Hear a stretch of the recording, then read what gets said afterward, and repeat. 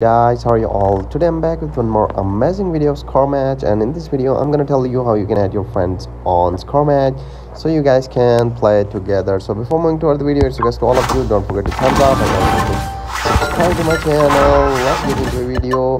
So before moving toward the video let me clear you one thing that this application is not storing any kind of users data in their servers on their servers. So that is the reason you guys need to connect this application with your facebook account. And right now as you can see i'm using this application on my apple device on my iphone. So i'm using my apple id i use my apple id to log in into this application. So if you want to play this game with your friend you just need to go to your facebook and connect your facebook with this application. So after connecting this application with facebook this application will automatically fetch and redirect all your friends and it will be displayed and your friends will be displayed on this portion. You can recruit them you can invite them and you guys can also earn rewards. So if you want to play this game score match with your friends you just need to connect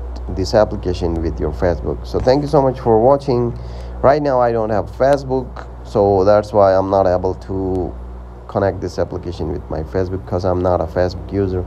So thank you so much for watching. Don't forget to thumbs up. Take care. Bye bye boom boom. Ciao